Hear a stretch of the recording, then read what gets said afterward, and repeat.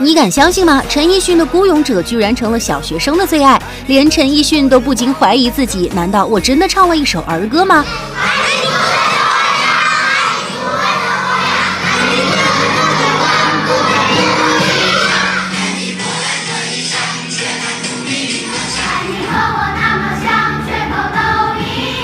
全情投入的演唱看得出来，小学生们是真心喜欢这首歌了。高燃的旋律配上简单易懂的歌词，整体就是燃上加燃的设定呀！也难怪小学生们听过几遍就能翻唱出来。与此同时，还有这样一批留守儿童，通过将网红神曲的歌词改编成爱国歌词演唱出来，轻轻松松获百万点赞。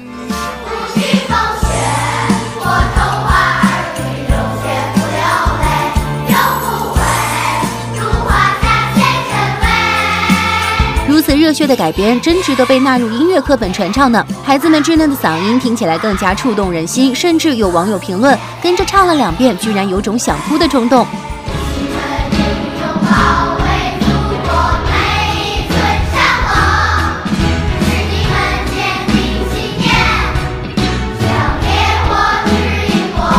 歌词的改编不难听出，这首歌被改成了唱给军人的歌曲。这种带有强烈爱国色彩的歌曲，听后真的很难让人不动容。在听过各个版本的漠河舞厅之后，依旧觉得孩子们的演唱最令人泪目。在孩子们的背后，改编歌曲的作词人是他们的音乐老师李平，是他的坚持和才华打开了孩子们的音乐之门，建立了留守儿童的自信。这何尝不是一种文化自信的建立呢？或许在将来的某一天，孩子们会因为幼时的这一颗音乐种子，走出那座高不可攀的大攀。好了，这期节目就。就到这里了，欢迎点赞、评论、关注三连，我们下期再见。